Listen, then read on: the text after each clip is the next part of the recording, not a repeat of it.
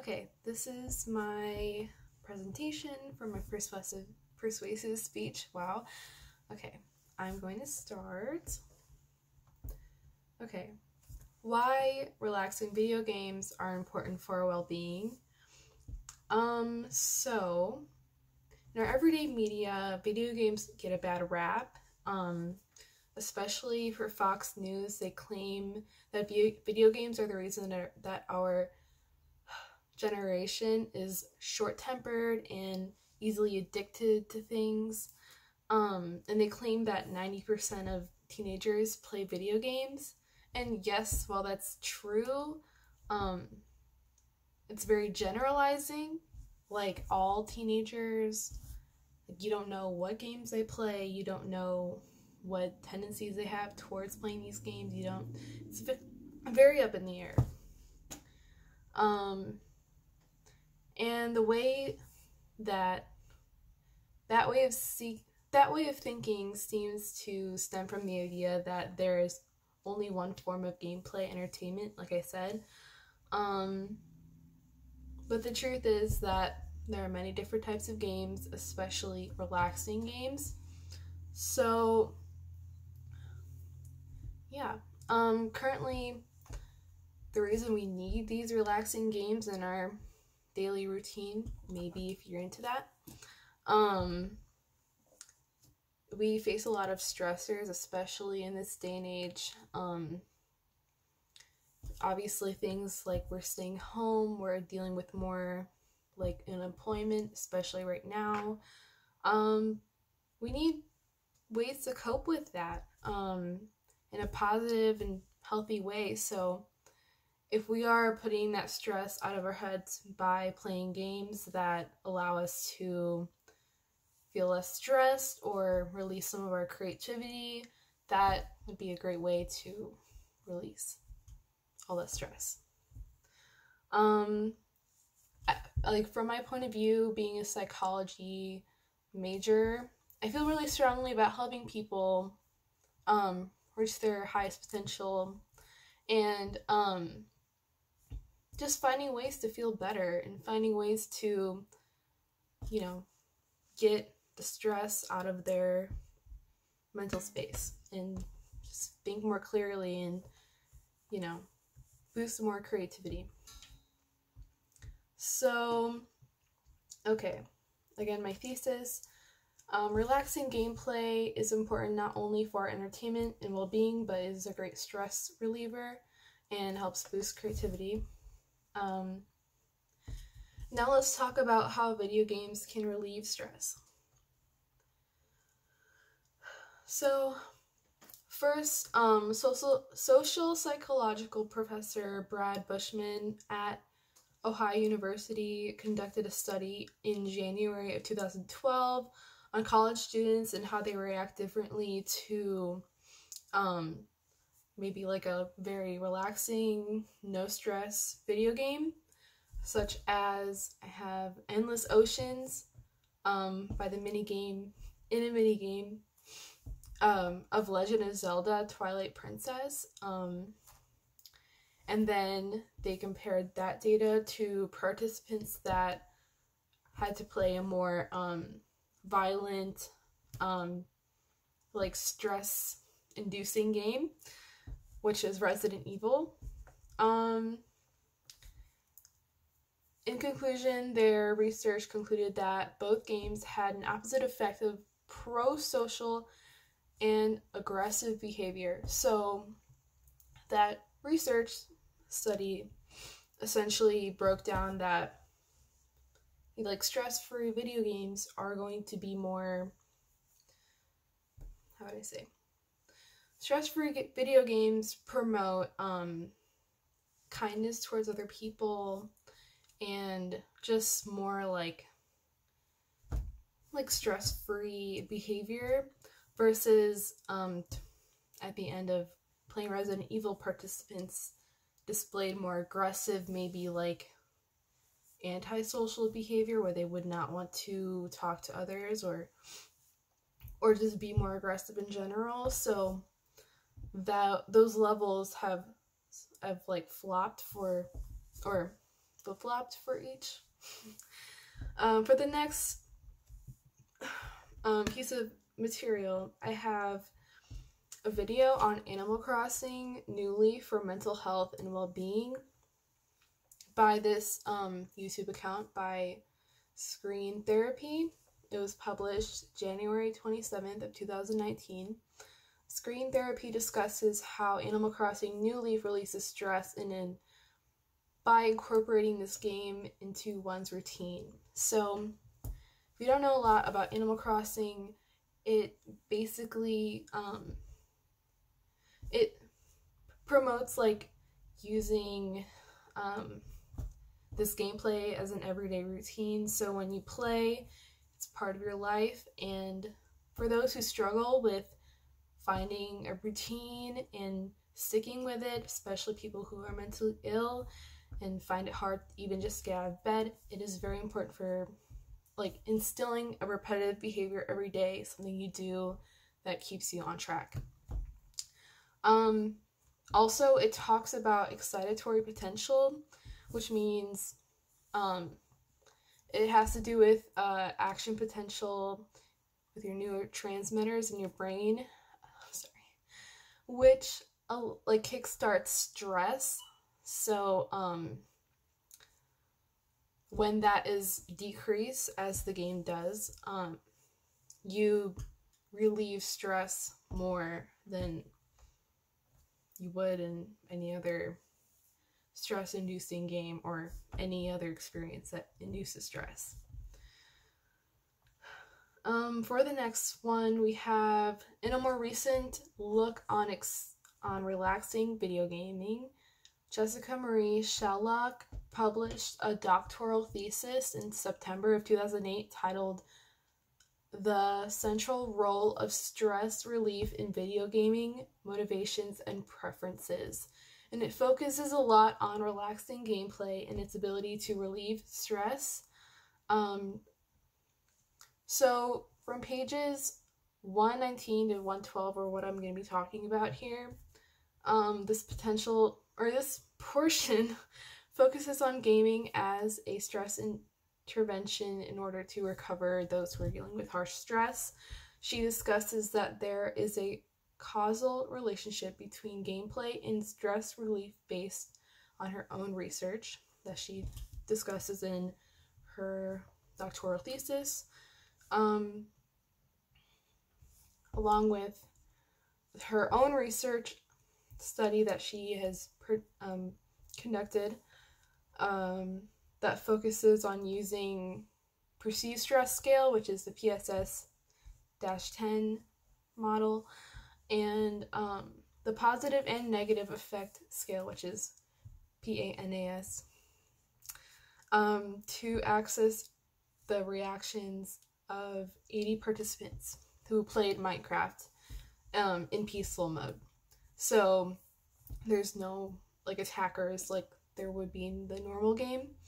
Um, the study concluded that the positive correlation in positive with a positive correlation affect decreasing stress. Along with Minecraft as an example, it can also affect creativity. So, um, Minecraft is like you build your own town, buildings, paths, anything you want, you can make it in the game. Um, so it's really nice. I mean, I played it before, but yeah, so an article on um, Science Daily article titled "Want to Boost Creativity? Try Playing Minecraft." Um, published July 18th of 2019 discusses a research study that focuses on the effect of playing Minecraft versus playing a race car game has on creativity.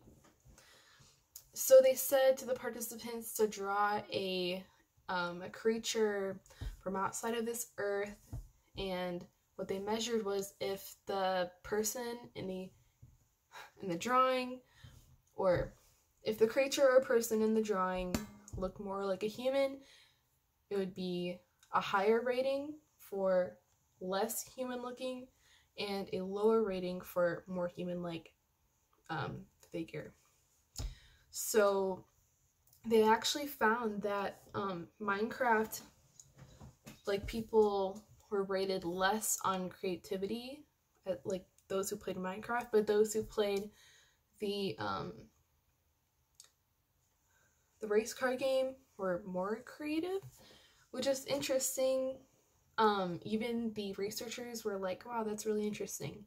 Um, but they said it's not just that Minecraft can help creativity, there seems to be something about choosing to do it that also matters. So, especially in this um, research where they just pair people up to play Minecraft, um, that would also be a contributing factor to the low creativity they, you know, they did in their drawings. Next, we have a study titled The Benefits of Playing Video Games. Um, it provides detail on all positive psychological fronts of video gaming, more focusing on the cognitive side. Um, they performed a study on creativity in preteens, and they had a 500 participant sample of 12 year old students, and they said video gaming playing Video game playing was a positive was positively associated with creativity. So yeah, playing video games of CNT for creativity, especially with preteens because they just tend to be more creative individuals. Um, it is assumed that creativity also involves the ability to problem solve. So, the matter of making a plan, you know, evaluating your options, um, making the right decisions, like introspectively figuring something out also can be tied into creativity.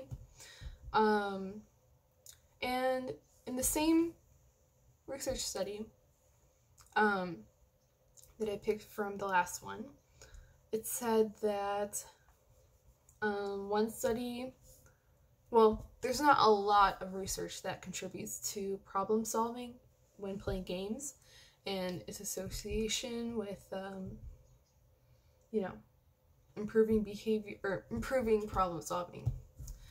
But um, before this research, they saw that before there was one um, study that clearly showed um, problem solving skill increased or improved over the time of of like the longitudinal study longitudinal so they traced these participants over time and they were like killing this game and you know it would they would continue becoming more able to problem solve all right next we have the rebuttal um, okay, so video games. Next is the debate on video games being a positive and negative experience. Um, the opposers of my argument might say something along the lines of, but if someone becomes too attached to video games, um, like what happens? Like what happens if they become too attached? And wouldn't there be a negative consequence?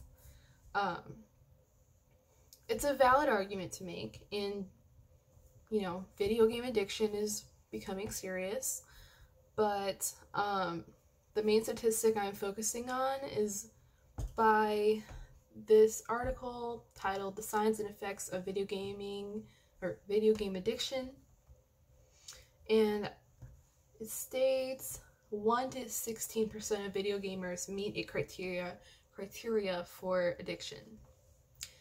And my rebuttal, I said, um, like, it would be wrong to devalue people who deal with this stuff or deal with the inability to step away from video games and it, it damages their whole life. It's terrible. But with this um, statistic they had, it's a very low percentage of those who do play video games that 99 to 84% of people who do play video games do have the ability to step away whenever they want and, um, you know, what I say? the moment it feels like you are dependent on video games, I suggested to, you know, talk to someone outside of yourself, make sure there's a plan or something to remove yourself from these negative addict neg- negatively, you know, negative things in your life. So, now what do we do? Um, so, relaxing gameplay, it is extremely important for us, especially as young kids, to be able to express ourselves or just in generally in general play a relaxing game and just have fun with it and you know feel better about whatever situation you're in um and i said now that now if you are feeling stressed or you know anxious about anything at all or dealing with a mental illness that makes it really hard for you to you know do everyday things maybe think of something you can do to relieve your stress. Um, so, of course, now is a great time, Corona, quarantine. It's a great time to start thinking of some games that can help you relieve your stress because it's it's scary out here. It is really terrifying to you know deal with all of this stuff. So a game that helps you whatever it is, it'd be great to incorporate in your life. So that is all. All right, thank you. Couldn't figure out the video in the beginning.